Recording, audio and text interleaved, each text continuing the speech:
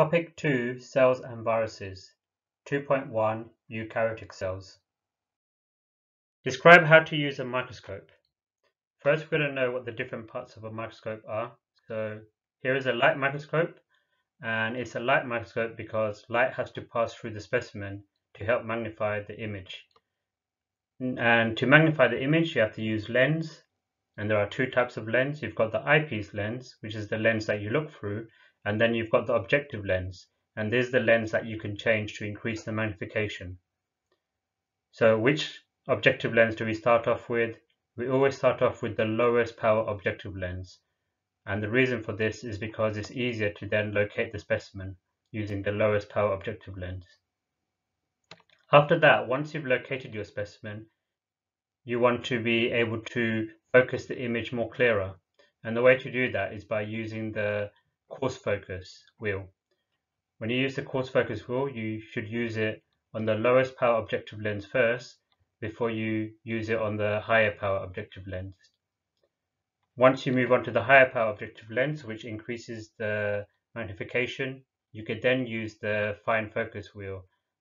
But this should only be used in the higher power objective lens because it will not make a huge difference when using it on the lower power objective lens. So to work out the magnification when you're looking through the eyepiece, remember magnification is how many times larger something appears than the real actual size. So if it's got a magnification of times 30, that means that the image is 30 times larger than its true actual size. And when looking through the eyepiece, the total magnification clearly is going to be affected by not only the eyepiece lens, but also the objective lens. So the equation clearly is going to be the eyepiece lens magnification multiplied by the objective lens magnification.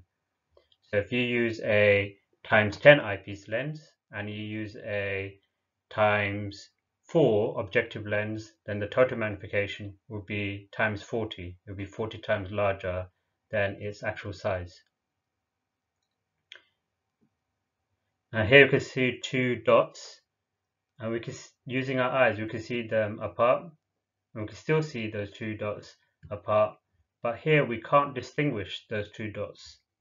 So this has got to do with resolution. And the resolution is the smallest distance between two points that we can distinguish as two separate structures or lines. So our eyes can't distinguish the two dots on the third example but we can on the first and the second. So the resolution of our eyes is somewhere up to the smallest value of 10 to the minus 4 meters, which is roughly 100 micrometer. Now, when you use a light microscope, the magnification is limited due to too low a resolution.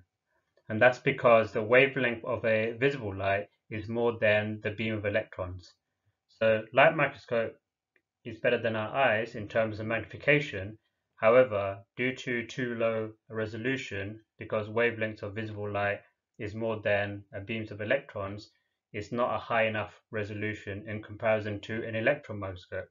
So electron microscope has got an even higher resolution than a light microscope, and that's because the shorter wavelength for electrons can distinguish between the separate structures or lines. So the highest resolution would be the electron microscope, which is higher than a light microscope and the light microscope is obviously a higher resolution than our eyes. The electron microscope also increases the magnification more than light microscope and the light microscope clearly can increase the magnification more than our eye because of the fact that it will have a higher resolution but not as high as the electron microscope. And the exam, if you want to get extra marks, you've got to mention the wavelength. You want to say the wavelength of visible light is going to be more when using the light microscope than our eye, but it's less than the beam of electrons or wavelength of electrons when using an electron microscope. Here we've also got another image and this image has been magnified. And to work out the magnification of this water flea, we're not looking through an eyepiece lens, so we're not going to use the same equation. This is an image where we want to use the IM formula equation.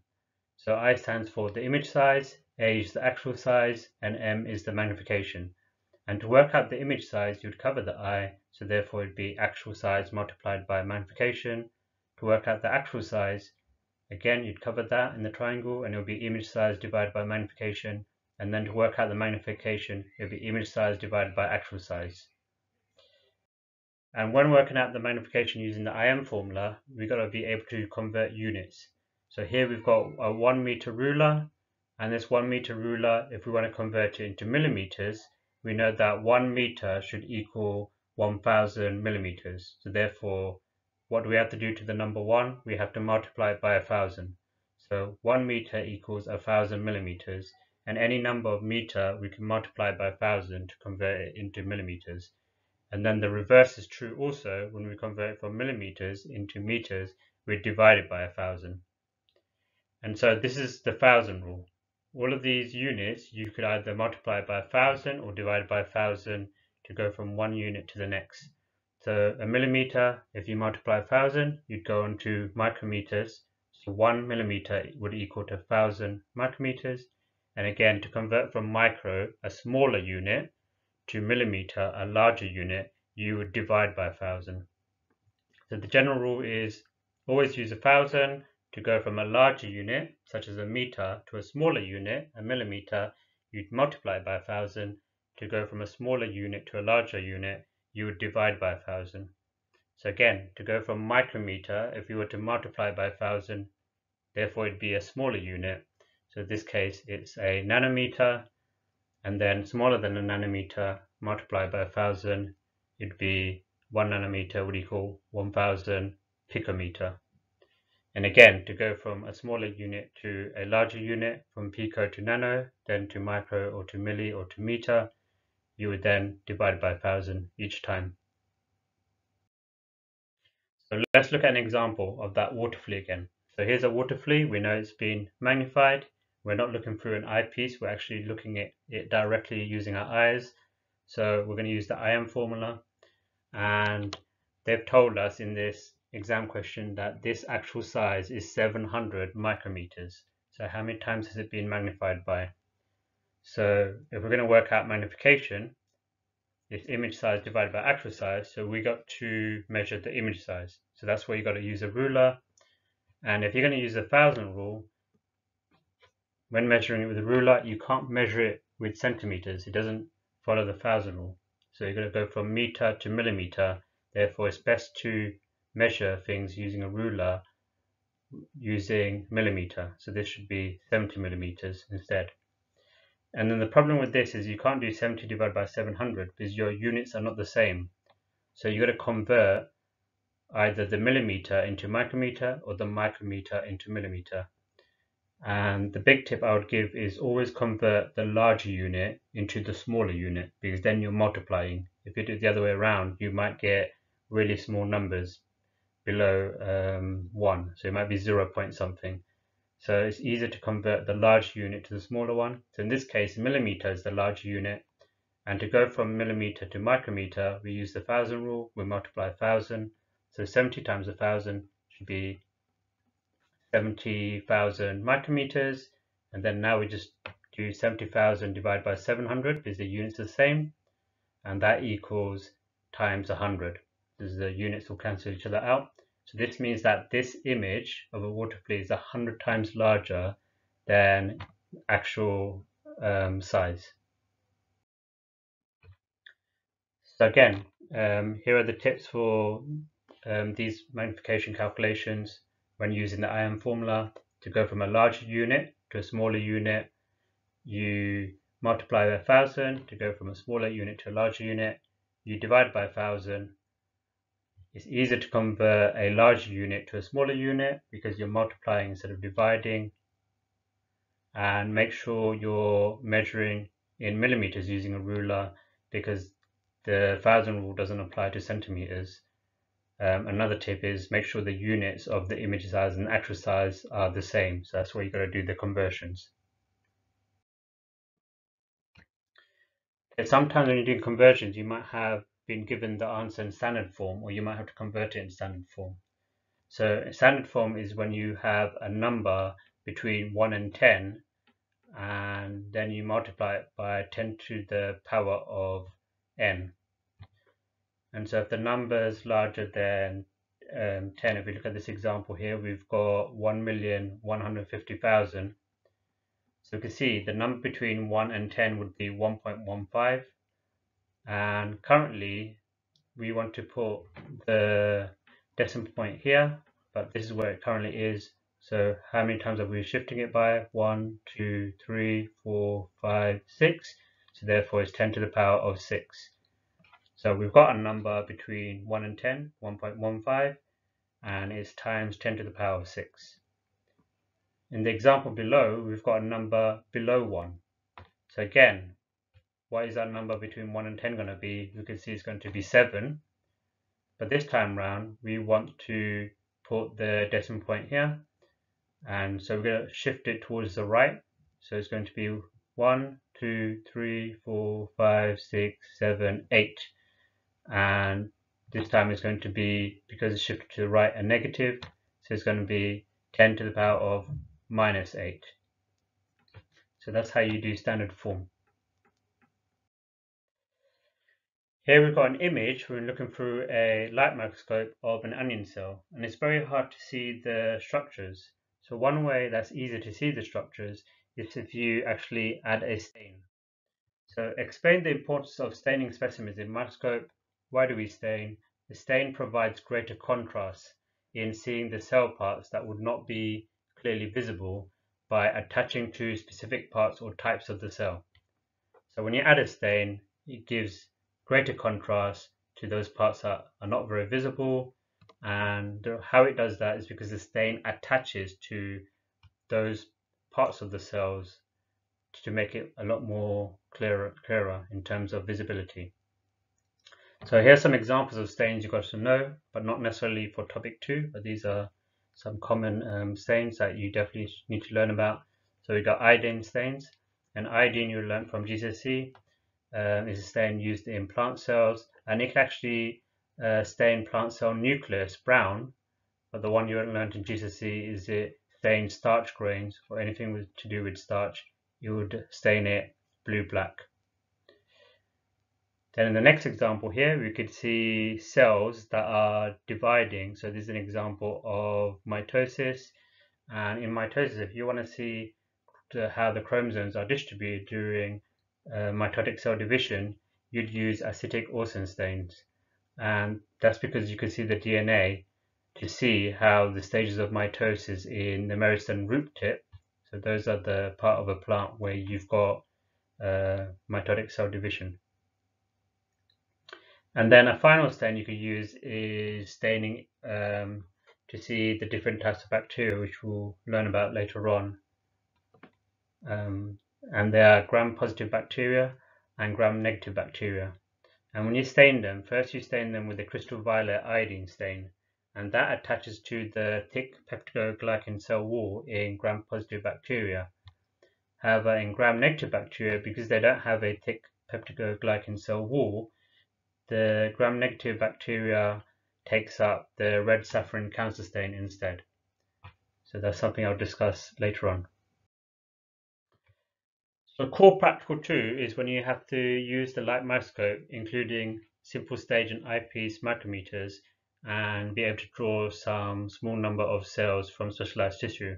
So describe how to use a micrometer to determine how many times bigger a drawing is than actual size. So the first thing you want to note down in exam is you've got to be calibrating the eyepiece graticule and to calibrate the eyepiece graticule you use a stage micrometer. When you use the stage micrometer then you measure the length of cells using you can see we can use the eyepiece graticule because now we know how much each length of the eyepiece graticule units are because we use the stage micrometer. And you should take more than one measurement because then it would be a lot more accurate. So you can measure repeats of different cells or the length and breadth of um, cells as well. And then once you know the size, you'd use the magnification calculation because you want to obviously compare it to our drawing. So now we've got uh, the actual size, you'd use the IM formula. So it'd be image size, which is the length of cell in the drawing, divided by the actual size, the one that we measured using the microscope, and that would give you the magnification of our drawing. Sometimes when you make a specimen, you see things like this through the eyepiece. Um, so state why it's important or how you can avoid air bubbles on a microscope slide. Why is it important? Is because the air bubbles obscure the view, so that means details can't be seen very easily. So how could you avoid it? You place a specimen flat on a slide using stain or water added to it, and then you hold the cover slip at an angle, just touching the stain or water, and then what you do with the cover slip is once it's touching the liquid, you lower that cover slip gently, and this reduces the chance of air bubbles forming. Explain cell theory. So cell theory is all living things are made up of one or more cells. So if you've got to be something living, an organism, you have to be made up of at least one or more cells. Where did these cells come from? All cells arise from pre-existing cells by division.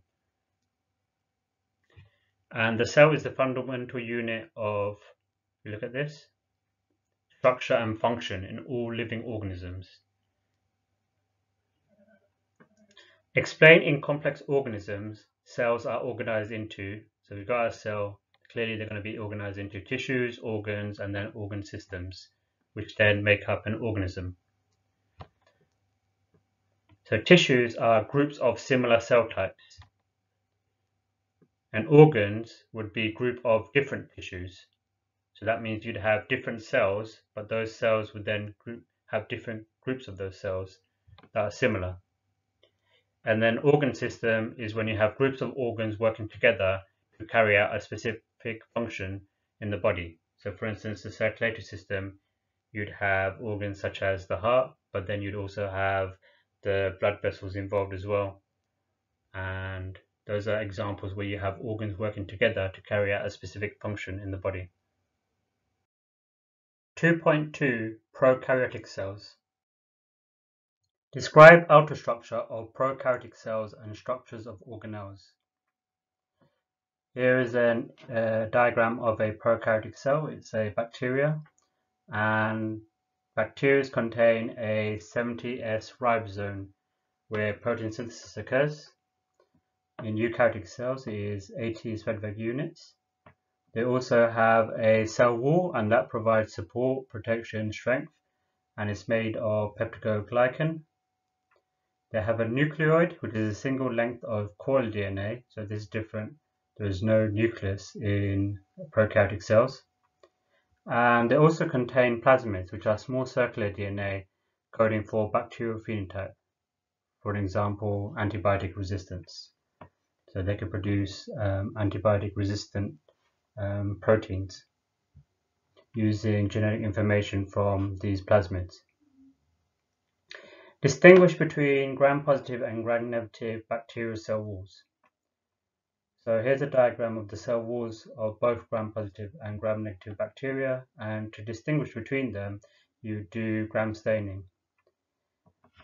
And if we look at the difference in structure, the gram-positive bacteria have a thick layer of peptidoglycan in their cell wall, whereas gram-negative bacteria have a thin layer which is inside an outer lipid membrane. When you stain gram-positive and gram-negative bacteria, you could distinguish them because the gram-positive bacteria retains the crystal violet iodine stain because it attaches to the thick peptidoglycan cell wall, whereas this crystal violet iodine stain uh, is washed off so it doesn't retain in gram-negative bacteria and therefore you could then counterstain it with the red saffron counterstain which shows up as this sort of pinkish sort of color. So gram-positive bacteria after using gram staining shows up with the crystal violet color whereas gram-negative you have the saffron counterstain. Due to their structure, their effectiveness of antibiotics will be different. So certain antibiotics can inhibit peptidoglycan formation, and those are the ones ha that have an effect on gram-positive bacteria. Other antibiotics can't get past the peptidoglycan layer, So that means that these are the ones that will only be effective in gram-negative bacteria because of the fact that they can't go past the thick layer of peptidoglycan in gram-positive bacteria. So depending on the effectiveness of antibiotic, uh, there are some that inhibit the peptidoglycan formation and they have an effect on gram-positive bacteria, or they can't cross the peptidoglycan layer, so they have an effect only on gram-negative bacteria. When using gram staining, the staining allows classification of bacteria as most bacteria are transparent or colorless. So using gram staining helps to distinguish whether they're gram-positive bacteria or gram-negative, and therefore you could target the bacterial infection based on um, which type of bacteria or how they're classified after using gram staining.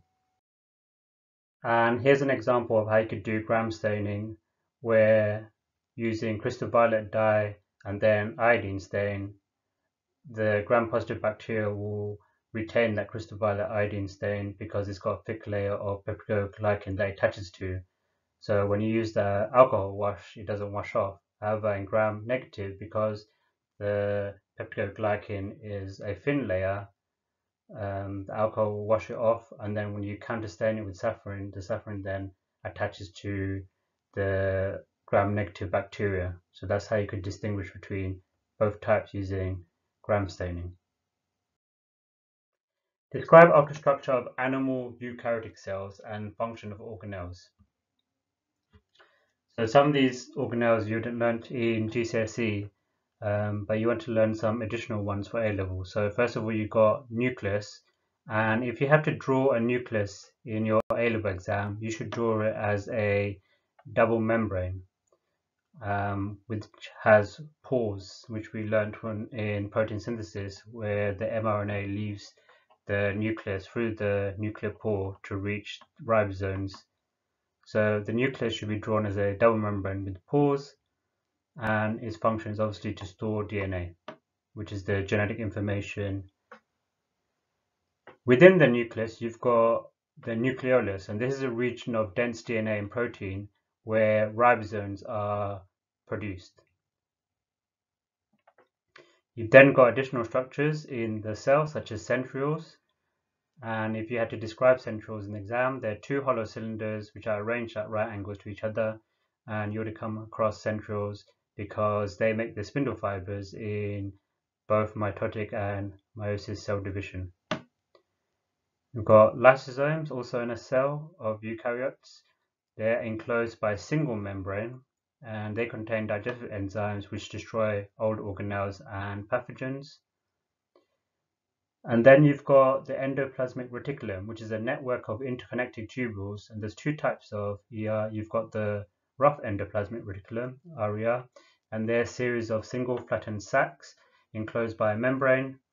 And the reason why they're rough is because they've got ribosomes on the surface um, and that's where proteins can be synthesized, just like um, free ribosomes also found in the cytoplasm, but these ones are attached to the rough endoplasmic reticulum.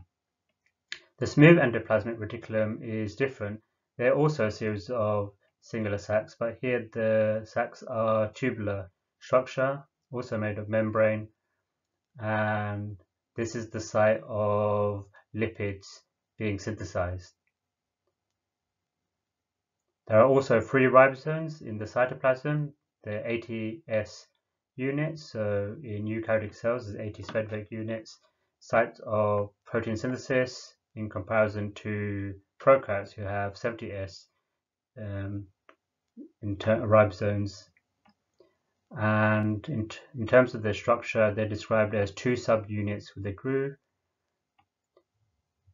Eukaryotic cells also have mitochondria, where aerobic respiration occurs, which we'll discuss their structure later on. And then there's also Golgi apparatus, which can be described as stacks of curved cisternae involved in protein modification. So after proteins have been synthesized in ribosomes, whether it's free ribosomes or in the rough endoplasmic reticulum, they can be transported to the Golgi apparatus and the proteins can then be further modified there. Describe ultrastructure of plant eukaryotic cells and functions of organelles. So this is where we're looking at the additional structures of plants in comparison to the ones that I've described for animal eukaryotic cells. And if we look at a plant cell, they can have a cell wall which provides support, protection and strength. And the reason why they could do that is because they have a cell wall that's made of cellulose. They've also got chloroplasts which can absorb light energy to produce glucose by photosynthesis. Plant eukaryotic cells also have a permanent vacuole that stores cell sap and that maintains the structure to keep the cell firm. They also have a tonoplast and the tonoplast is the uh, vacuole membrane and that controls the movement of substance into and out of the vacuole, thus controls the water potential of the cell. Compare and contrast ultrastructures of eukaryotic cells and prokaryotic cells. So what are the similarities and difference between eukaryotes and prokaryotes in terms of their cells? So eukaryotic cells and prokaryotic cells, the similarities they both have cytoplasm, cell membrane, and ribosomes. In eukaryotic cells, there are membrane-bound organelles such as the mitochondria, Golgi apparatus, and rough endoplasmic reticulum. Those are examples you give in the exam whereas in prokaryotic cells there are no membrane-bound organelles. The ribosomes are also different. In eukaryotic cells there are the larger 80S ribosomes, whereas in prokaryotes it's the smaller 70S ribosomes. Eukaryotic cells have got a nucleus, obviously with their nuclear envelope, with the nucleolus inside, where ribosomes are synthesized, whereas in prokaryotic cells there's no nucleus. Instead, there is a nucleoid, which is a free-floating genetic material in the cytoplasm. The prokaryotic cells also have got plasmid, which is not found in eukaryotic cells. And then eukaryotic cells, only in plants, they have got cellulose cell wall. However, the cell wall in prokaryotic cells are peptidoglycan. Draw and label a mitochondria. So this is what a mitochondrial structure looks like. It's got both an outer and inner membrane, and that inner membrane folds inwards to form the crista. Mitochondria also contains ribosomes and they also have a fluid structure inside similar to a cytoplasm which is known as the matrix. Explain why a cell may contain large numbers of mitochondria. So we know mitochondria from GCSE is where aerobic respiration happens and that aerobic respiration produces ATP which can then be used to release energy for chemical reactions and cell processes such as protein synthesis, such as when enzymes and hormones, which are proteins, can be synthesized. Also can be used to modify proteins or to transport or secrete them using transport processes such as active transport or exocytosis. Draw and label a chloroplast. So this is what chloroplasts look like and both mitochondria and chloroplasts will learn in detail their functions in topic 5, chloroplasts also contain ribosomes. They've got starch grain, where starch is stored from glucose that's been produced in photosynthesis that is then polymerized to form the starch polymer. Chloroplasts also contain an outer and inner membrane. They've got a thylakoid structure which are stacked together to form the granum and then these granules are linked together through a lamella and they've also got a fluid structure inside similar to cytoplasm it's called the stroma.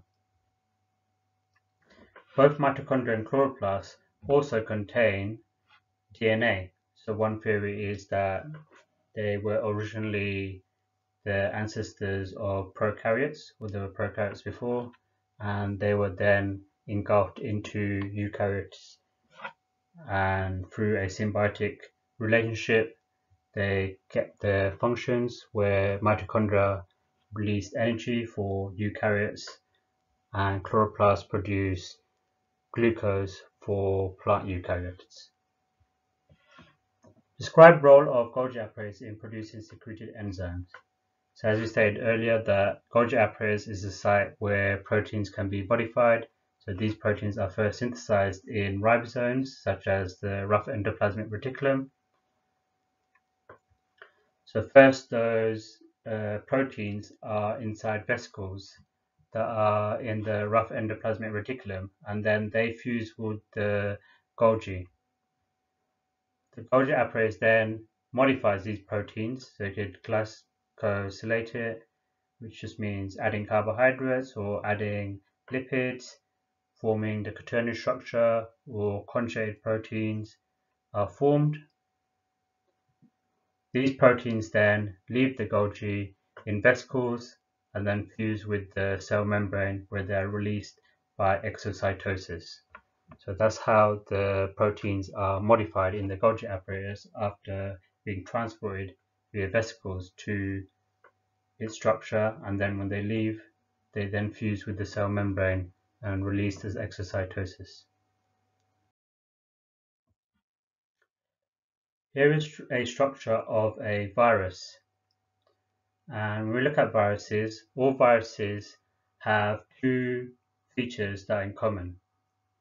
They've got this feature here, which is the genetic material, and that genetic material can be RNA or DNA nucleic acids. They also contain a protein coat or protein capsid, which surrounds the nucleic acid, whether it's RNA or DNA. Now, when we look at animal or plant cells and how they replicate, those cells replicate by mitotic cell division, where the cell divides. Here, we've also got a similar process to mitotic cell division. This is the replication of bacteria, where the bacterial cell divides. So the question is, how do viruses replicate? And for viruses to replicate, they need to obviously make those two common structures. They need to be able to replicate the genetic material, either the RNA or DNA nucleic acid. And they also need to synthesize the proteins so they could make more of the protein coat, protein capsid. The problem with replicating the genetic material is they don't have enzymes for RNA or DNA replication. Therefore, they cannot replicate the genetic material. They can't also synthesize proteins because they don't have ribosomes for protein synthesis. So if viruses want to replicate, they somehow need to replicate the genetic material and they need to replicate the proteins, but they can't do that because they don't have those structures. So here you can see this is a picture of a virus attacking a bacteria and you can see that when they attached to the bacterial host cell, they then insert the genetic material. And why are they doing that? That's because they're trying to hijack or take over the host cell's processes. They're trying to make the host cell make the genetic material and proteins for them instead of them making it themselves because they don't have the enzymes or ribosomes to do that. And good examples would be HIV, which can insert its genetic material into human cells and Ebola virus is another example. So virus replication, there are two different types you learned in GCSE. We've got the lytic cycle and the lysogenic cycle, and we could see some differences here. So in the lytic cycle, you could see, as we said earlier, the virus first attaches to the host cell, and you can see that it's inserting its genetic material, and the host cell is making or replicating the genetic material and is also synthesizing the proteins such as the protein capsid. In the lysogenic cycle, it's different. The virus attaches and inserts the genetic material, but more viral genome is made because every time the host cell uh, replicates or divides, they also make more copies of the viral genome. So describe lytic cycle of virus and from GCSE, remember ASLR. So to remember what each of these letters stand for. So first A is attachment of virus to host cell. Then there's insertion of the virus's genetic material into the host cell. The DNA and RNA or genetic material by the host cell is then replicated. After replication of the viral genetic material, we have got synthesis of the virus protein capsid by translation of viral genetic material. Then we need to do something with the viral genetic material and the protein capsid that's been synthesized. We need to assemble them together to make more of the virus. The virus are now in the host cell, but they need to be released. So to release, first you got to lyse the host cell, and then they're released from the lysed host cell so they can go and infect other host cells. So a good way to remember the order of the lytic cycle is ASLR.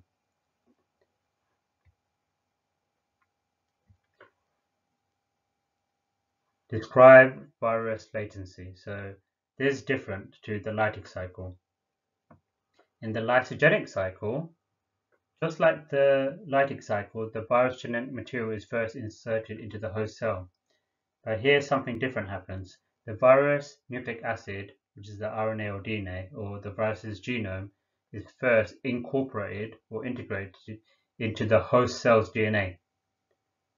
So when it attaches to the host cell's DNA, you're not making or replicating the viral genome or using the genome to synthesize the protein capsid. Instead, you're just attaching or integrating it into the host cell's DNA.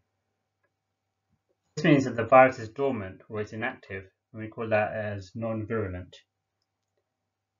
So when do you make more copies of the virus? Well, the virus nucleic acid is replicated when the host cell divides. Because every time the host cell divides, it needs to replicate its DNA, and because the viral genome is incorporated into the host cell's DNA.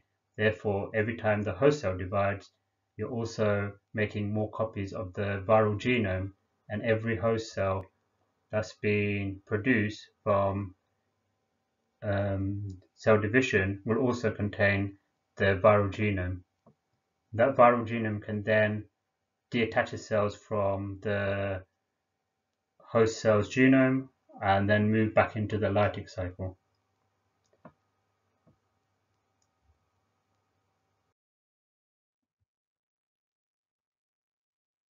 And we can see both cycles here again.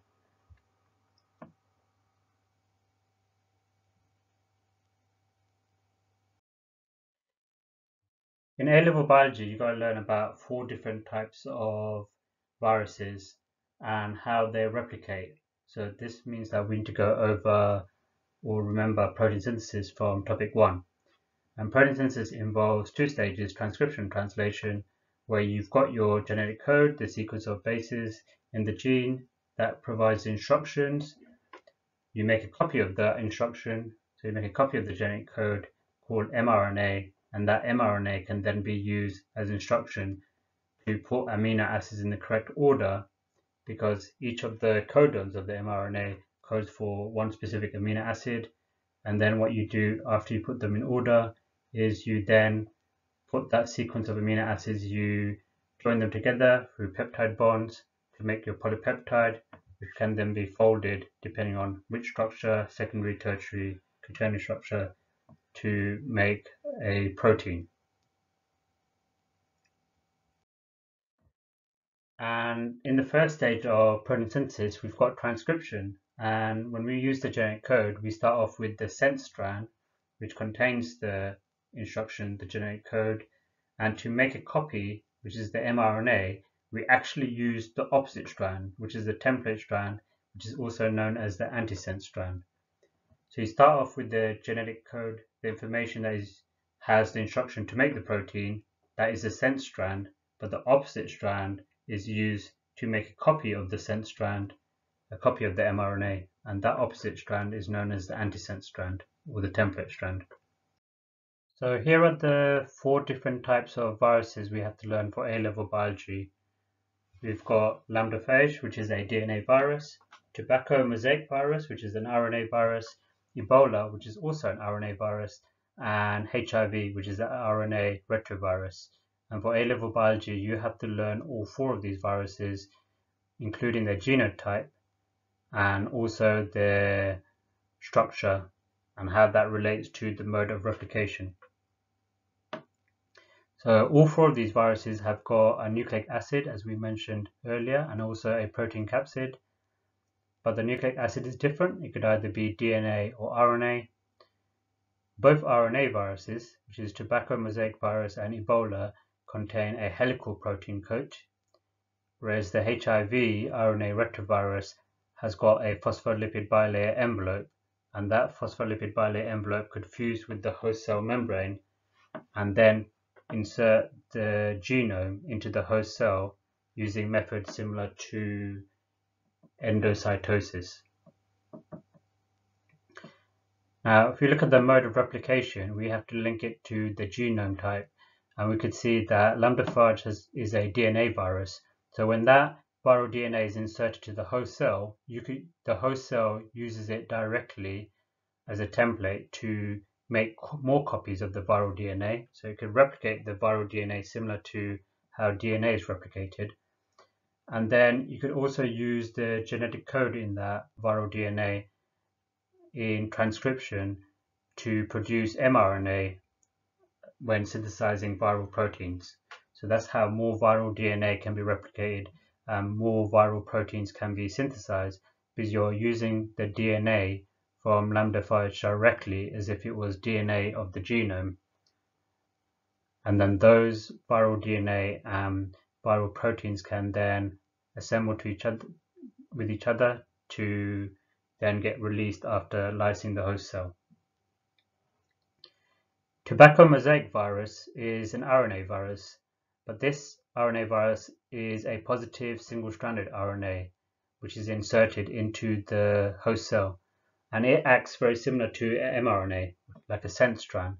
So you could directly translate it at the ribosome to produce viral proteins. Ebola is different because it's also an RNA virus, but it's a negative single-stranded RNA virus. So it's complementary to the mRNA. It acts more like an antisense strand. So you first have to make the complementary strand to the Ebola negative single-stranded RNA strand. Uh, so that happens in transcription. And then after transcription, you've made your positive single-stranded RNA now. You can then send it to the ribosome to translate it to synthesize viral proteins.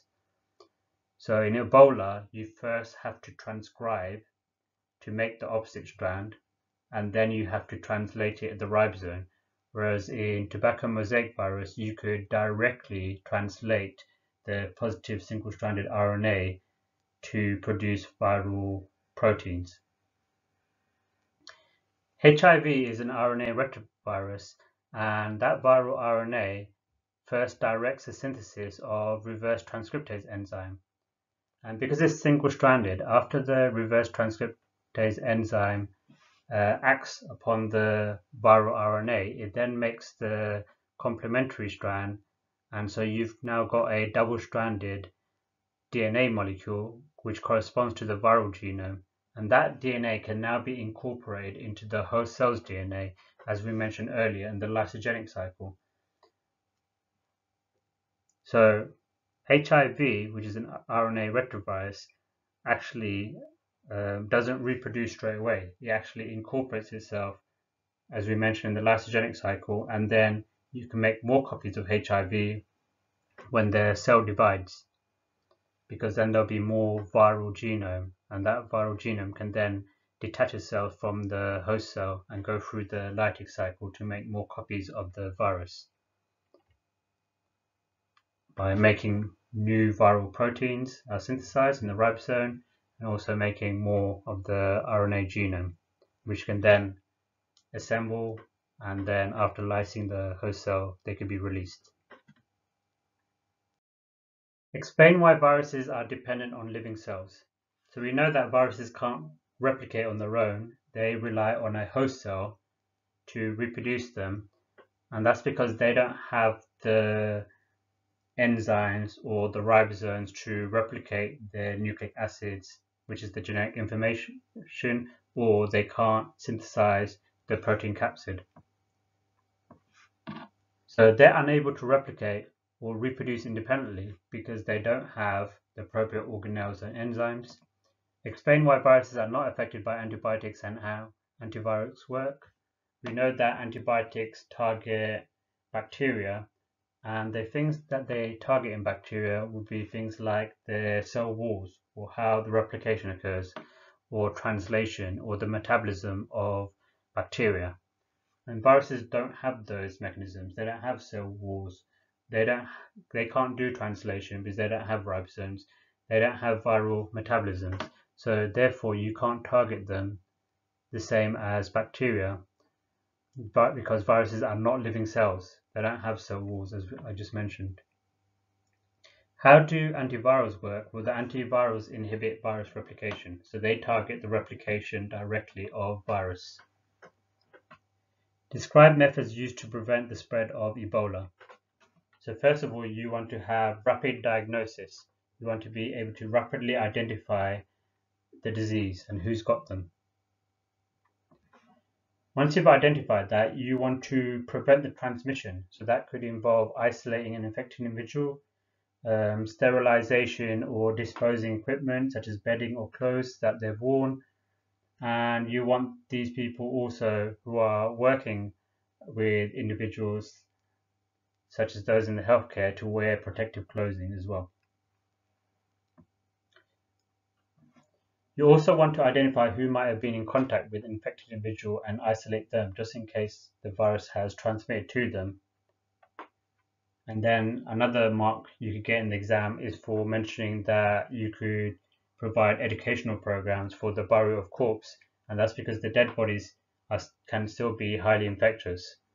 So when people know how to bury the corpse properly in a safe manner, there's a lower risk of them being infected or the virus being transmitted to them from the dead bodies.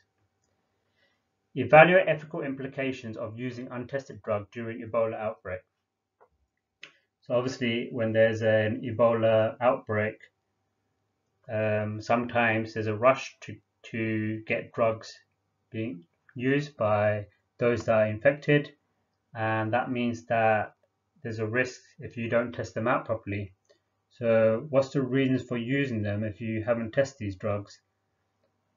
Ebola has a very high mortality rate and the epidemic is very difficult to control. So if people are going to die already, if there's a huge chance of them dying, then there might be a lower risk of uh, looking at the effects of the drug or looking at any negative effects of the drug. You could also help develop drug for other patients. So if the drug doesn't work, you could then use it and see what the effects are and then hope to use that or develop that for other patients in the future. Reasons against, well, when you test use these drugs, if they're untested, they've got unknown side effects. The patient, if they're ill, they might not be able to provide informed consent. So you might be giving drugs to them without them saying yes. And then there has to be a decision on who can be tr treated if there's a limited supply of the drug. So if you've got lots of people who've got Ebola, how do you decide who to give the drug and who not to? So the conclusion is benefits may outweigh risk due to the severity of Ebola outbreak or due to the very high death rate. In the exam, this question says evaluate, so you want to give reasons for and against and then make that conclusion. 2.3 Eukaryotic cell division mitosis. Why do body cells divide? So we can see an example of body cells dividing from a fertilized egg, which is a zygote, all the way up to the fetus. So clearly one reason for body cells dividing is for growth by producing more cells. Another reason is to repair damaged tissues. So if you've got cells that are damaged within the tissues, then you can repair the damaged tissues by replacing those cells that are damaged. Now, body cells divide by mitosis, which is a type of cell division, and each cell produces two genetically identical daughter cells. So you start off with one cell and you end up with two daughter cells, and therefore you're increasing the number of cells. Now, those two daughter cells are genetically identical. So they're going to contain exactly the same DNA as each other. In other words, they're clones of each other. And clearly they're going to have the same DNA as what you started off with in the parent cell. Now, the cell cycle is actually a cyclic process of replication and cell division. So in GCSE, you'd have learned about mitosis, and mitosis is when the nucleus divides. And after the nucleus divides, the cytoplasm has to then divide, so you can end up with two genetically identical daughter cells.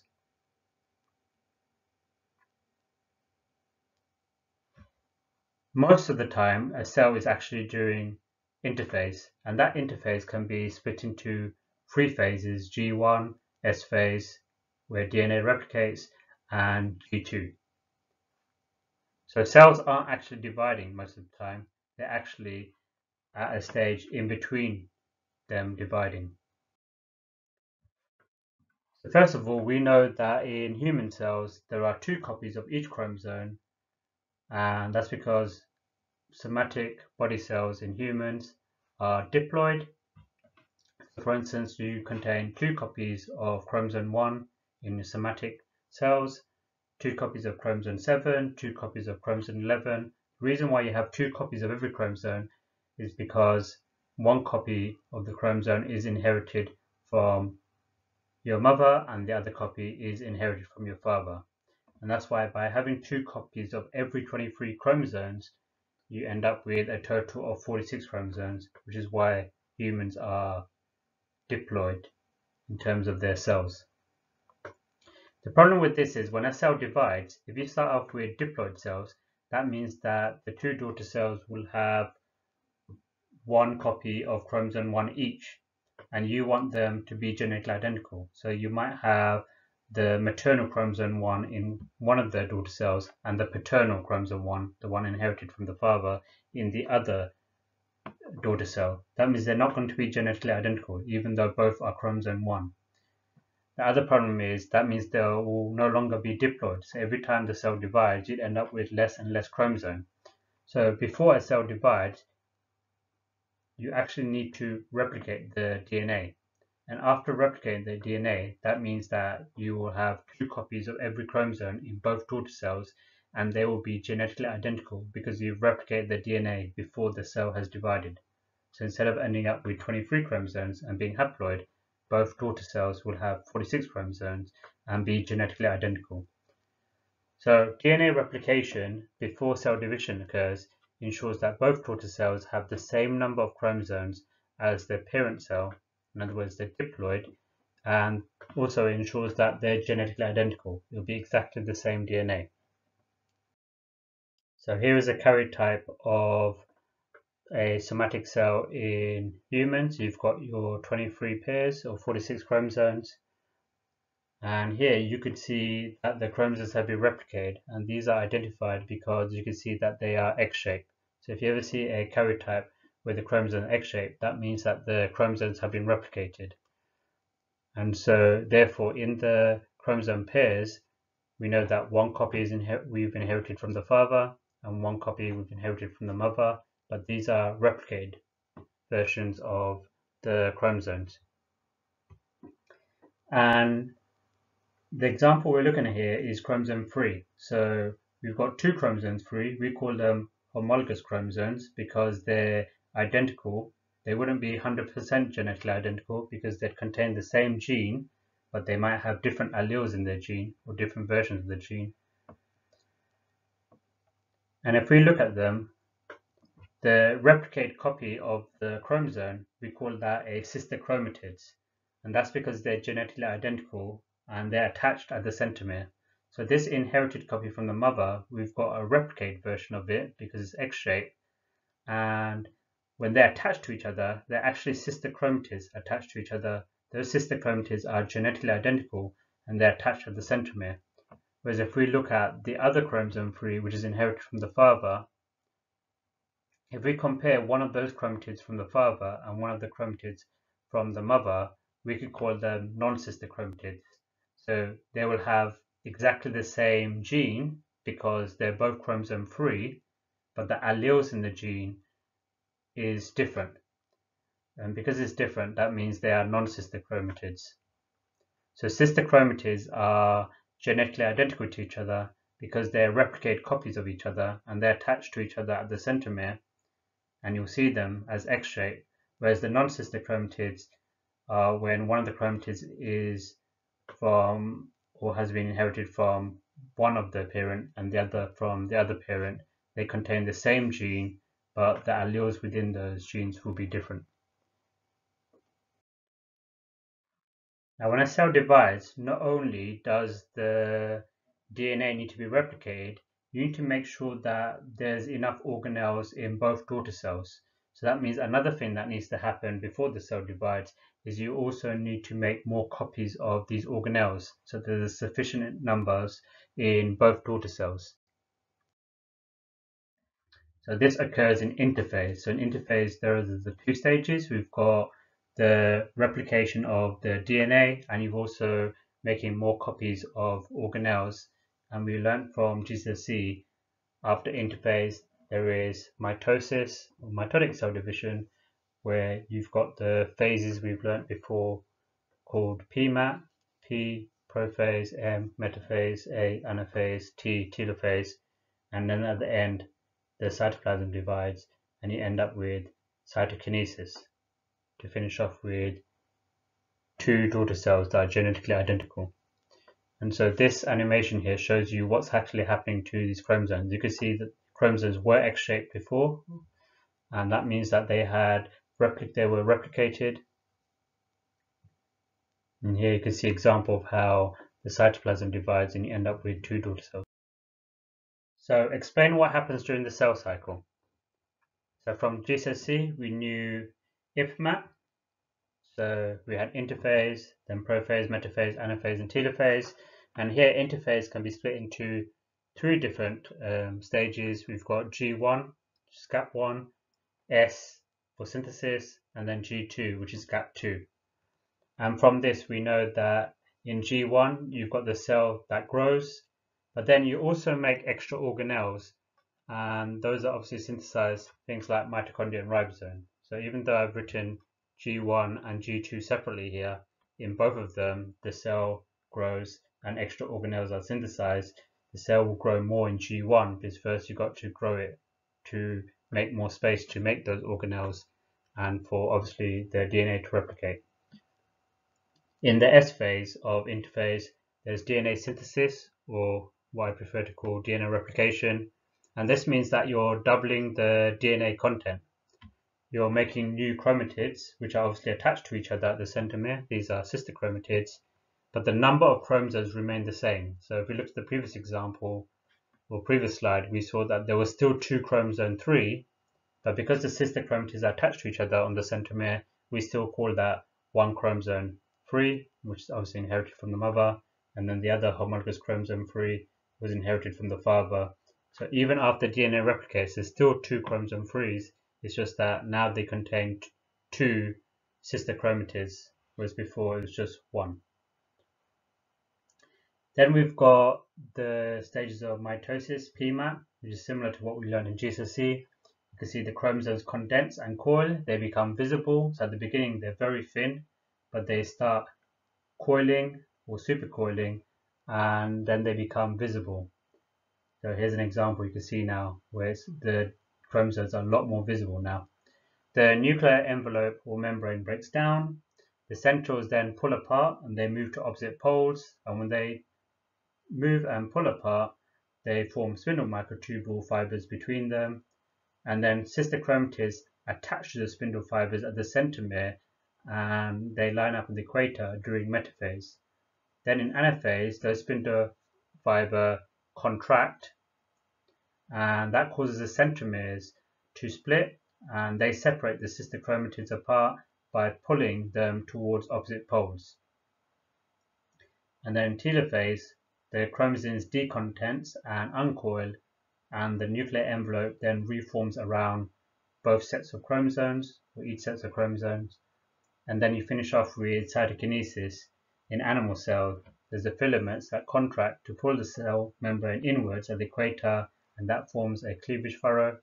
And this divides the cytoplasm, whereas in a plant cell you've got Golgi vesicles that fuse to form cell plate and they extend outwards until it fuses with cell membrane and divides cytoplasm and the new cell wall then splits the cell into two. And in both, whether it's animal cell or plant cell, with plant cells we've got cell wall as well, you end up with two genetically identical daughter cells with the correct number of chromosomes produced. So here's additional information about cytokinesis where the cytoplasm divides and you can see in the first example you've got the formation of the cleavage furrow which is where filaments contract and they pull the cell membranes inwards as you can see the cell membrane pulling inwards at the equator and this then divides the cytoplasm until you end up with two genetically identical daughter cells. In plant cells different, you can't just pull inwards because it's got a cell wall. So instead, Golgi vesicles, which form in the middle, they fuse with each other to form this central cell plate, and then that extends outwards until it fuses with the cell membrane to divide the cytoplasm, and then a new cell wall splits that cell into two. And that's how cytokinesis is different in an animal cell and in a plant cell. Core practical 3 is when you have to make a temporary squash preparation of a root tip so that you can show the stages of mitosis in meristem under light microscope. So in your exam, you've got to be able to describe how to prepare a microscope slide of root tissue to show the stages of mitosis.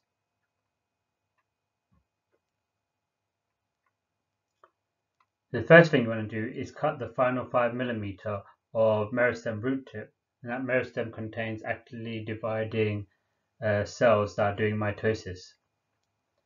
Once you've got your meristem root tip, you want to then treat them with warm acid and then remove that warm acid using water. Then you want to stain that DNA with acetic orcein, which will attach to the DNA. And then you heat to intensify the stain. You could piece the tissue to separate the cells and then apply a cover slip and squash so that you can view at very high magnification. And you can see images at the bottom of what they should look like after you've added the acetic orcein stain to the DNA and you should be then be able to recognize the different phases of the cell cycle whether it's interphase or other parts of mitosis, PMAT, prophase, metaphase, anaphase, telophase. Explain how stages in cell cycle for very rapidly dividing cancerous tumor cells would be different to cells dividing slowly.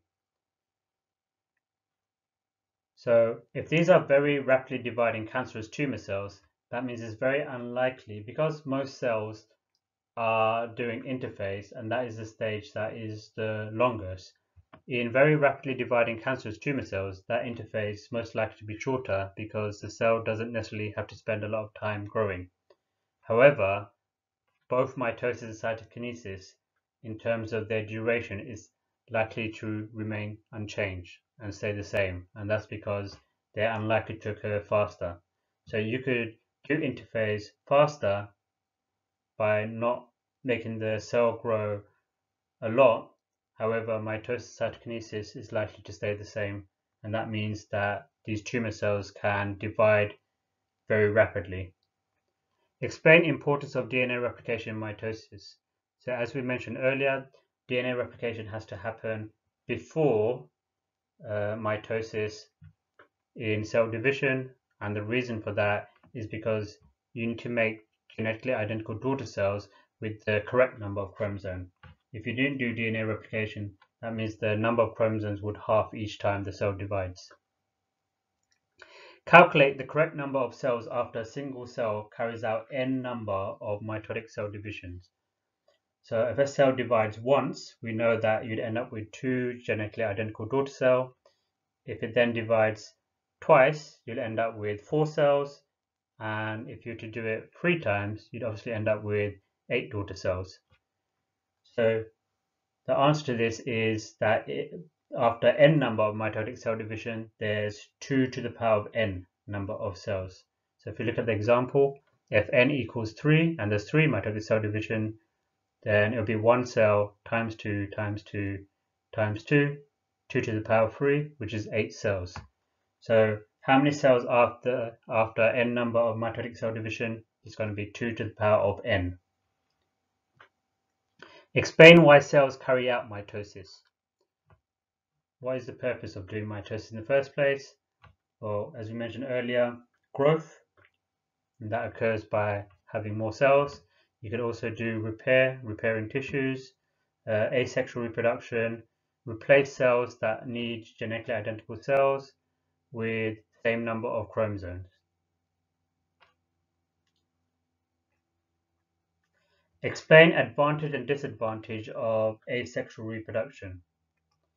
So in asexual reproduction, that relies on mitosis because that's how you can make cells that are genetically identical. So what's the advantage of doing this and what's the disadvantage of doing it? The big advantage is that you can produce large number of offsprings rapidly as it doesn't need another individual. So in asexual reproduction, don't need another individual, produce large number of offsprings very rapidly. However, the disadvantage is because you're doing mitosis and it relies on mitosis, that means you're going to produce cells that are genetically identical. Therefore, there's going to be a lack of genetic variation. And that lack of genetic variation could destroy all the organisms if there's a changing environment condition that is extremely unfavorable. So for instance, a new disease suddenly appears. If it affects one, it will affect all the organisms because they are uh, they've been produced through asexual reproduction and they're genetically identical to each other. 2.4 Meiosis and sexual reproduction. So this is a diagram of a karyotype for both diploid cells and haploid cells. And for the diploid cells, you can see there are two copies of every single type of chromosome. So there's two chromosome 1, two chromosome 2, two chromosome 3.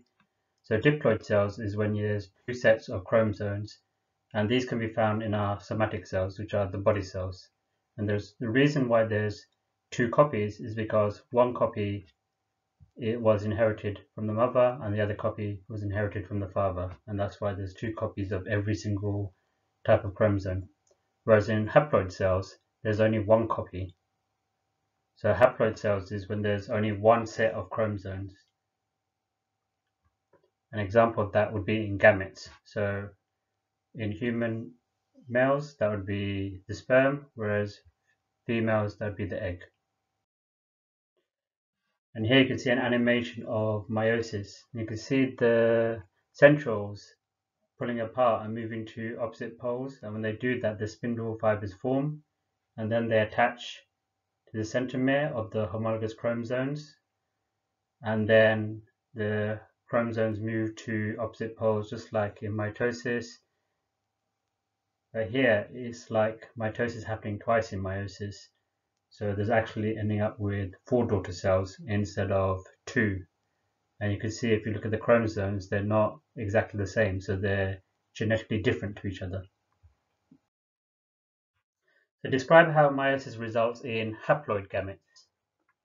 First of all, meiosis can be split into two parts. You've got meiosis 1, and in meiosis 1 you have very similar to what happens in mitosis. You've got PMAT, so you've got prophase 1, metaphase 1, anaphase 1, and telophase 1. So you've got the same um, identical things that happen as in mitosis.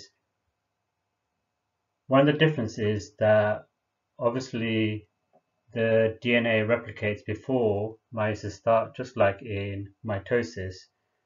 And that means you've got homologous chromosomes. So you've got two chromosome 1s, but they've been replicated.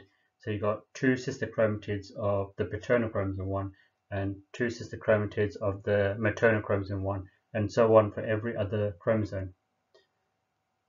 However, when the cell divides, here the homologous chromosomes start separating and moving to opposite poles. So the paternal chromosome 1 and the maternal chromosome 1 will move to opposite poles. And the way they move can be different. So just because paternal chromosome 1 moves to one pole, it doesn't mean that all the paternal chromosomes chromosome 2, chromosome 3 for, that was inherited from the father would move to the same pole. And that means you could end up with lots of different combinations. So in the meiosis 1, you've got the homologous chromosomes that separate and they move to opposite poles.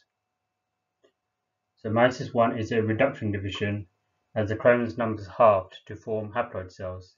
In other words, you started off with two chromosome 1s, but those homologous pairs now move to opposite poles. So now each daughter cell will have only one copy of chromosome 1, and again, they'll have one copy of chromosome 2 and one from chromosome 3. But where they've inherited that chromosome, it could be either from the mother or the father for each chromosome number.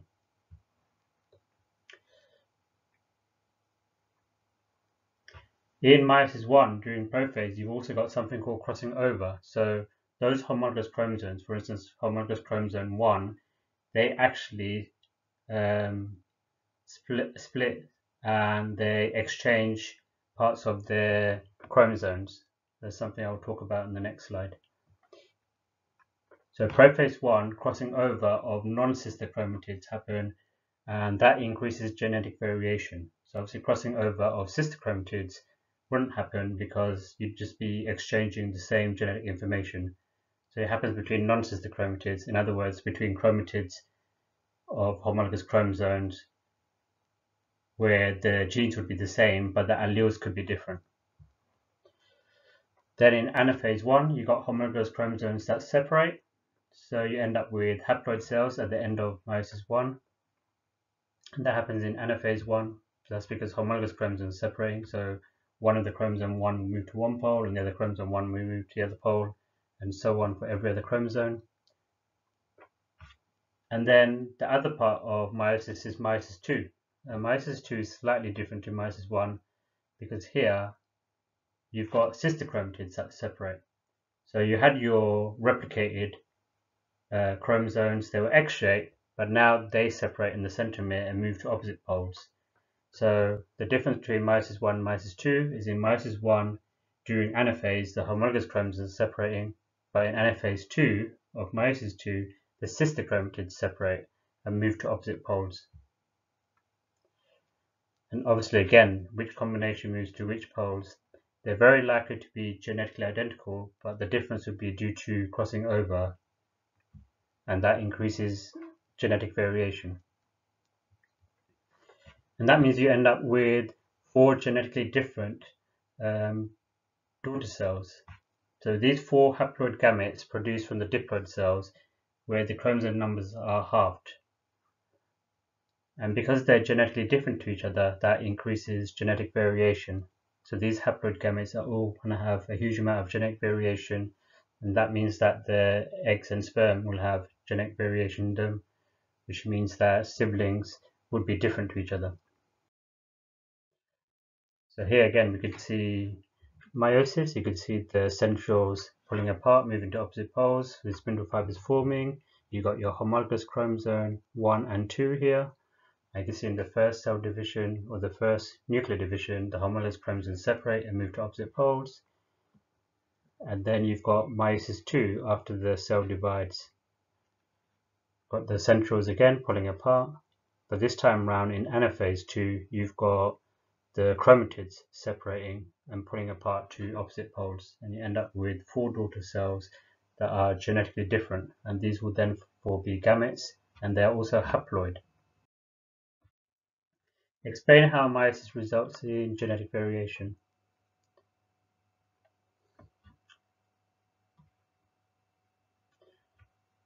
So this is an image that we saw earlier, which is crossing over. So crossing over or recombination happens in prophase 1. So actually happens before anaphase 1, before the homologous chromosomes separate and move to opposite poles. They first will align with each other and crossing over will happen. And to describe crossing over in your exam, what you say is homologous chromosomes line up. So it doesn't matter if it's homologous chromosome 1 or homologous chromosome 2 or 3. The paternal and maternal chromosome 1 will line up together.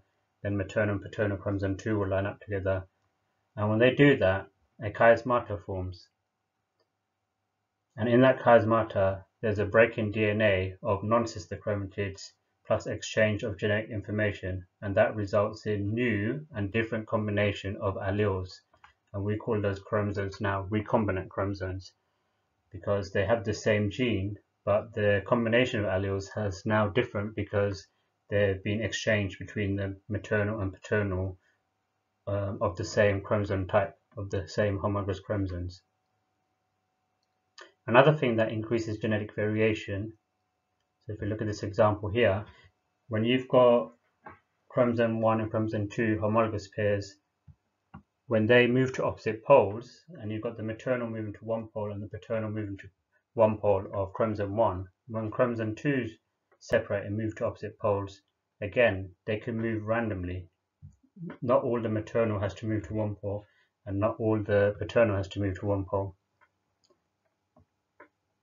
you could end up with lots of different combinations of chromosome 1, 2, 3, 4, and so on. This is known as independent or random assortment, and it happens in metaphase 1, and that results in different combinations of chromatids.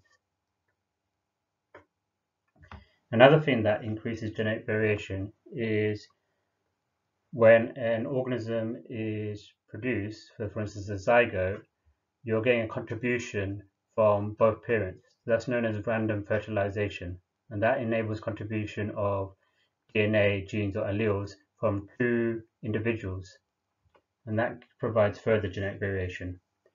So meiosis, which involves sexual reproduction, is a source of genetic variation, and that allows organisms to adapt changing environment. So if the environment changes, some of those variants will have a advantage, and that means that they're more likely to survive. So the whole idea of meiosis producing genetic variation in the population means that um, that species is likely to survive. Not necessarily every single organism in the population, but those that have an advantage, which helps the survival of the species. And here we could actually see some of these ideas that produce genetic variation. So we've got crossing over here that's happened between homologous chromosome 1 of non-sister chromatids, and that happened, um, and also in chromosome 2 it also happened as well. And they could see um, random assortment. So in this case here, chromosome 1, let's say maternal, is with chromosome 2 paternal. They could also be the other way around and then you end up with four daughter cells that are genetically different to each other, that are haploid cells, and it could randomly fuse or fertilize with another haploid cell, and that increases genetic variation. Explain how chromosomal mutations occur, including Down syndrome and Turner syndrome.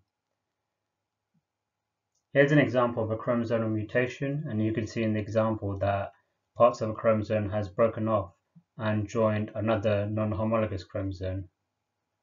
So this is known as translocation. The definition is part of a chromosome breaks off and joins another non-homologous chromosome. And there are two types of translocation. There's unbalanced translocation and balanced translocation. In the example of the unbalanced translocation, you could see that parts of the chromosome is broken off and joined another non-homologous chromosome, whereas in balance, both chromosomes have got parts that are broken off and they've exchanged that, but this is between non-homologous chromosome. Another type of chromosomal mutation is non-disjunction. And in non-disjunction, you've got a failure of separation. So we know that in meiosis 1, in anaphase 1, there is separation of homologous chromosomes which move to opposite poles. But what happens if they fail to separate and both homologous chromosome, for instance, 1, move to the same pole. That means half of your gametes are going to have an extra chromosome 1, and then half of the gametes are going to have no chromosome 1. When they fuse with another gamete, you'll end up with a zygote that has an extra chromosome or a zygote that has one less chromosome. And the same thing could also happen when there's a failure of separation in sister chromatids in anaphase 2 of meiosis 2. So again, you could end up with some daughter cells that are produced in meiosis that have an extra chromosome, or they could have one less chromosome. And again, if they fuse with another gamete in fertilization, you're going to end up with an extra chromosome of one of the types or one less So in non-disjunction, homologous chromosomes, either in anaphase 1 or sister chromatids in anaphase 2, fail to separate, and that results in gametes with either two copies or no copies of that chromosome. And that means the zygote or the somatic cells are aneuploidy. They have either one extra or one less due to abnormal total number of chromosomes. So humans have got 23 pairs, which is 46 chromosomes in total, if they have one extra, there'll be 47 chromosomes. If they have one less, there'll be 45 chromosomes. So that's known as aneuploidy when there's an abnormal total number of chromosomes. And two examples you've got to know in your exam are Downs and Turner syndrome. In Down syndrome, there is non-disjunction, so in other words, non-separation of chromosome 21. So both chromosome 21 moves to the same pole, and that means that your gametes contain two chromosome 21, and when it fertilizes with another gamete, you'll end up with 3 chromosome 21 and that's known as trisomy 21 and trisomy if you have more than the normal 2 that means we call that polysomy. Another example of non-disjunction is Turner syndrome. And here there's non-disjunction of the sex chromosome in males. So there's no sex chromosomes in the sperm. So this is where the X or the Y both move to the same pole then in the other daughter cell, there's no X or Y sex chromosome.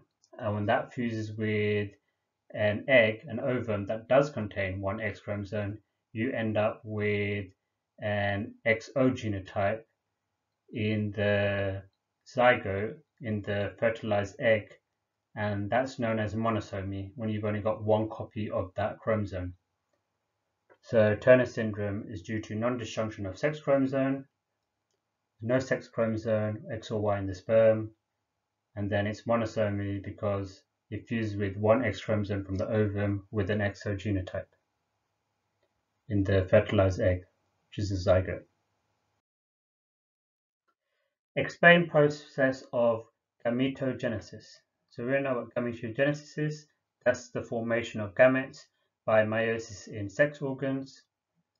So here's an example of what happens, and there's two different types of gametogenesis.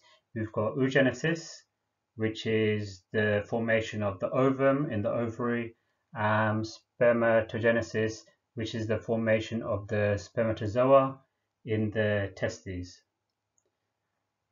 And in both of them, you start off with a diploid primordial germ cells, and that diploid primordial germ cells divide by mitosis to form diploid oogonia in females or diploid spermatogonia in males. Then these cells grow bigger. And when they grow bigger, they become primary oocytes in oogenesis or primary spermatocytes in spermatogenesis. So effectively, you start off with mitosis of the primordial germ cells, and then these cells become larger during the growth phase. And then after they've grown larger, you then start off with meiosis. So the first meiotic division results in a larger haploid secondary oocyte and a smaller degenerate polar body in, oogenesis. However, in spermatogenesis, you end up with two haploid secondary spermatocytes. So remember, this is in the first meiotic division you start off with one cell, so you're going to end up with two daughter cells after you've done the second meiotic division, then you'll end up with four daughter cells. In the second meiotic division, that takes place after fertilization in oogenesis and it results in one haploid ovum and um, another degenerate polar body. So therefore in females you start off with the diploid primordial germ cells but you end up in oogenesis with one large ovum and three smaller degenerate polar body. However, in spermatogenesis, after the second meiotic division, which happens straight away, that results in four haploid spermatids. And those spermatids haven't fully specialized yet, so they continue differentiation, which differentiate to form spermatozoa, which is the sperm cell, which now has a tail and other specialized features.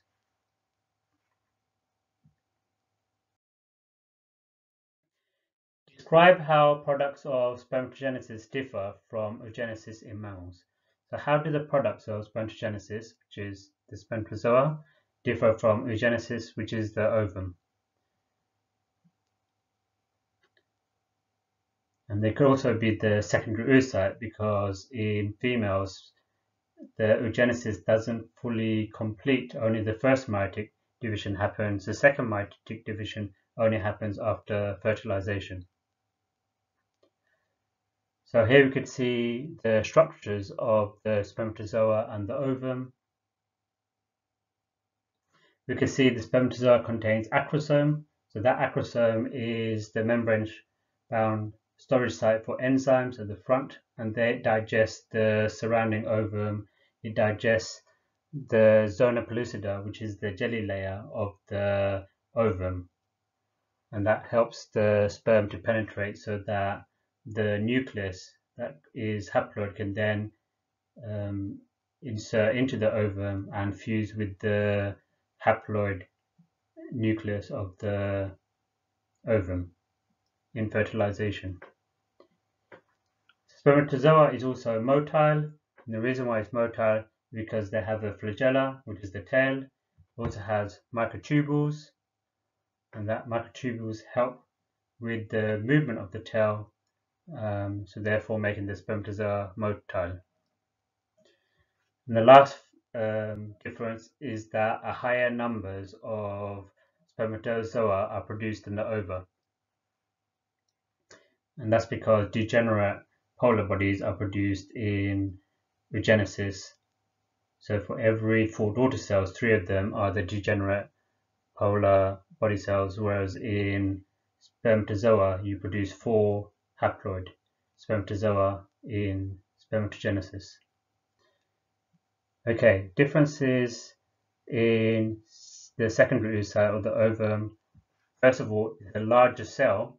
The reason why it's a larger cell is obviously the cytoplasm is much larger. So the reason why you have the cytoplasm is during meiosis, there's uneven separation of the cytoplasm in cytokinesis. So more of the cytoplasm goes towards the ovum and less of it goes towards the degenerate polar body. And the reason why you want to have a larger cytoplasm is because you can store more food stores there. And that's obviously very helpful after the ovum has become fertilized to help it grow. Uh, the secondary oocyte of the ovum is surrounded by the zona pellucida, which is a jelly-like layer, and it also has some follicle cells. And oogenesis produces polar bodies, which obviously isn't produced in um, spermatogenesis. Explain why egg cell is much larger than head of sperm cell. So as we said earlier, the cytoplasm contains large food stores, and that large food stores um, is for energy that is released by respiration and that energy released by respiration can then be used in cell division until the fertilized egg um, or the grown fertilized egg then gets implanted and then could get food from the mother. So by having that larger cytoplasm, more food stores are available for the cell when it divides. You can look at the structure of the ovum. We can see it's made of zona pellucida, which is the gel-like layer. It's got the cell surface membrane and cytoplasm with the food stores. It's got a haploid nucleus. That's the same in the sperm, which also got haploid nucleus. The sperm or the spermatozoa obviously has got the acrosome, which is the digestive enzymes that penetrate or digest the zona pellucida. It's got its um, flagella, uh, which makes it motile due to the flagellum. And then obviously for movement, you need energy. So spermatozoas have got lots and lots of mitochondria. Explain why producing spermatids instead of mature spermatozoa causes infertility. So spermatids is when it hasn't fully differentiated yet. So therefore there'll be no flagellum or fewer mitochondria. So the spermatids can't swim to the egg and if it hasn't fully developed there'll be no acrosome or fewer enzymes so can't penetrate the zona pellucida, the fertilized egg. Explain events of fertilization in mammals. So here we've got a diagram of how fertilization occurs. And first of all, you've got contact of sperm with the secondary oocyte. So remember, in females, the second meiotic division hasn't occurred fully. And that causes the release of digestive enzymes from the acrosomes. Once that happens, cortical granules in the secondary oocyte release enzymes. So this is from the secondary oocyte of the female. And when it releases those enzymes, it hardens the zona pellucida, and that creates a fertilization membrane. And the whole point of this is clearly to stop additional sperm from fertilizing the ovum. Anaphase 2 then occurs in the secondary oocyte to form the ovum, and the nuclei of sperm and the oocyte of the ovum now fuses together and that forms a zygote. Explain early development of embryo to blastocyst stage. So once we've got the zygote, it will now develop into an embryo. So we can see first we've got the zygote, which is the fertilized egg, and you can see that is forming into an embryo. So we've got something called a morula, which is a very early embryo. And these contain totipotent stem cells. The reason why they're totipotent stem cells is because they got the potential to differentiate or specialize into all the different types of cells. So these are the very earliest cells from the zygote to the morula the fertilized egg to very, very early embryo stage, they're totipotent stem cells, potential to differentiate or specialize into every single type of cell. And to go from that zygote, which is a fertilized egg, from one cell into the morula, which has got roughly around eight cells, obviously you've got uh, cell division occurring, occurring. This is mitotic cell division and you start off with one larger cell in the zygote, but then you end up with lots of really small cells that are genetically identical. And that means that these cells are doing mitosis rapidly without the cells growing. So there's a shortening of the interphase stage of G1 and G2. And this is known as cleavage process. So cleavage process increases the cell numbers by mitosis without growth where cells become progressively smaller. So you're dividing and producing more cells, but because there isn't a lot of growth phase, these cells are much smaller because the cytoplasm isn't increasing. So every time the cell division happens, the cytoplasm becomes smaller and smaller per cell. And that forms a hollow embryo structure known as the blastocyst with thin cell layer surrounded by a fluid-filled cavity. So that's what you end up with after the morula stage. That blastocyst is a late embryo or later embryo. And when we look at the structure of that blastocyst, it's got an inner cell mass and, and it's also got a trophoblastic cells, which is the outside part of the blastocyst. The inner cell mass contains pluripotent stem cells. So we started off with totipotent stem cells from the zygote to the morula but once it reaches the blastocyst stage, which is the late embryo, the inner cell mass contains pluripotent stem cells. And that gives rise to the embryonic cells of most cell types. So it's going to become all the other embryonic cells in the future, or most types of cells in the future.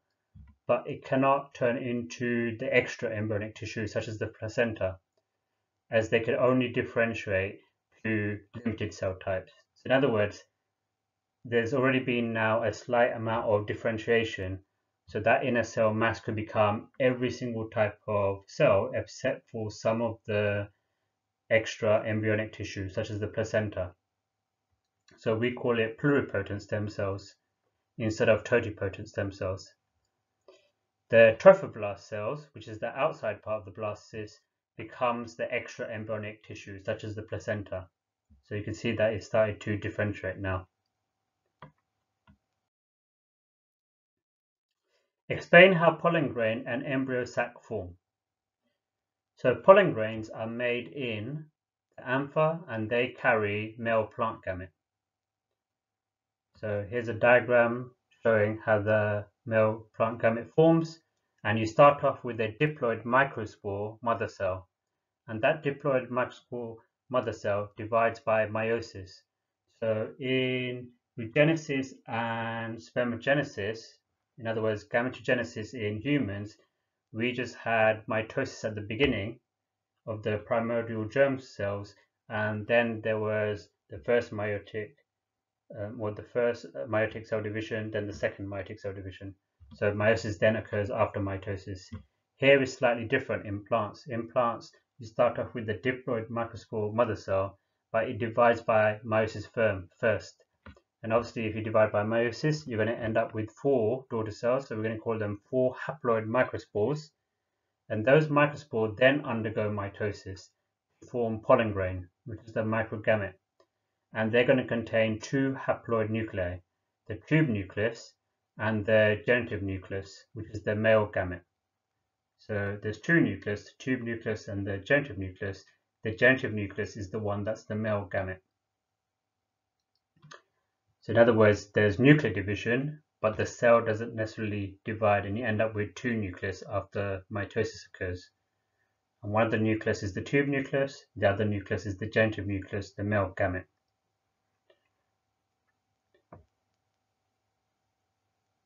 In terms of the embryo sac and how it forms, it forms in the ovule and carries the female plant gamete. It's very similar to how the pollen grain is formed.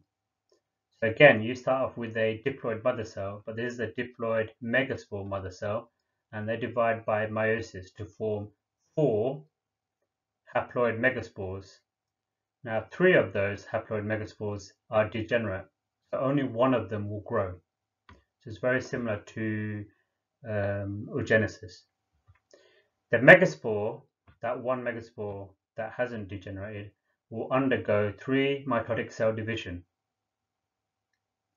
And when it does that, that results in an embryo sac containing an egg cell, which is the megagamete, but it also contains two polar nuclei and lots of other smaller cells. So that's how the embryo sac and the pollen grains are formed, but now they have to fuse with each other to in fertilization. So explain how male nuclei reach the embryo sac in plants. So when pollen grain lands on, if we look at this diagram here, the stigma during pollination, the genitive nucleus divides by mitosis remember we had the tube nucleus and the gentive nucleus. And the gentive nucleus is the male gamete and it divides by mitosis to produce two male gentive gamete nuclei. So now you've got two of them.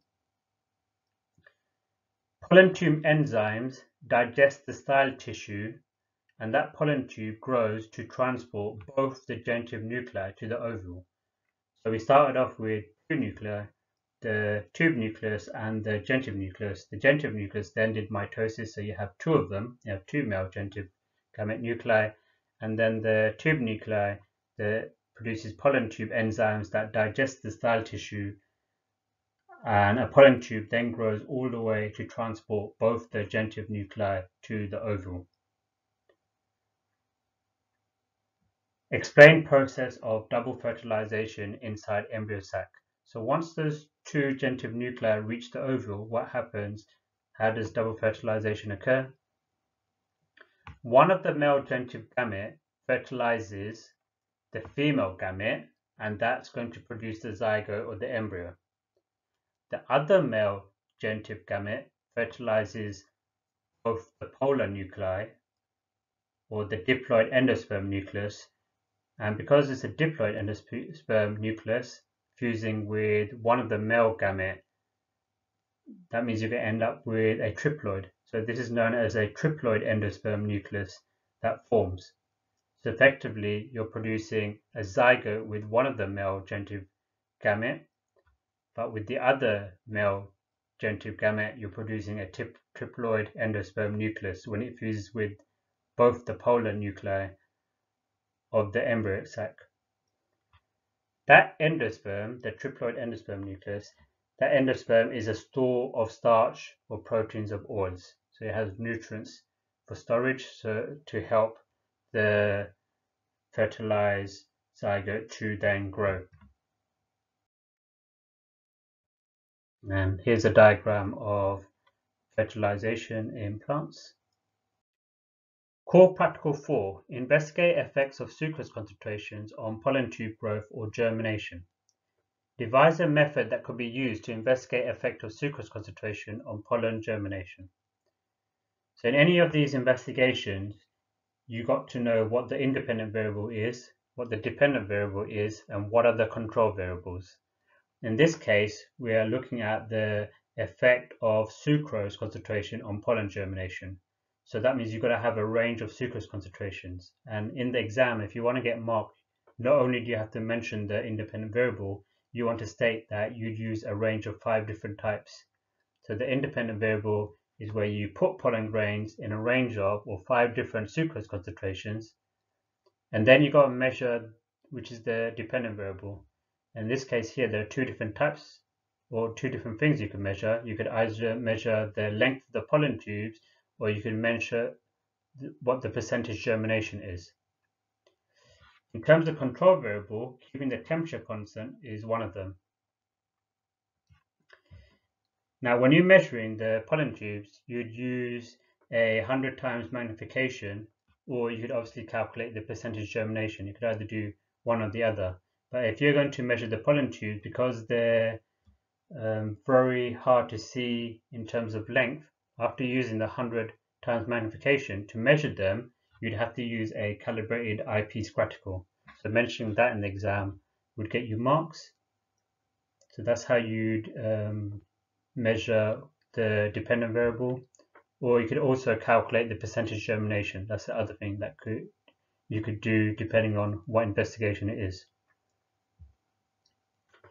In terms of when you'd measure it, you want to do one hour intervals so you'd measure several pollen tubes after that one hour interval. The reason for measuring several of them is because then you could calculate a mean. Sketch suitable graph to show results. So what would be on the x-axis, y-axis, and what would the graph show? So we know the x-axis should be the independent variable and the y-axis should be the dependent variable. So on the x-axis should be the sucrose concentration. You should at least have a range or minimum range of five different types, starting from zero all the way to whatever your range is. And then the y-axis, you could either have the mean pollen tube length or you could have the percentage germination, depending on what was measured. And in terms of the results of what the graph should show, realistically, it would show a positive correlation where a higher concentration of sucrose would increase the percentage germination or increase the mean pollen tube length. Sometimes the uh, correlation then becomes negative afterwards, but realistically, uh, for most sucrose concentration, there should be an increase.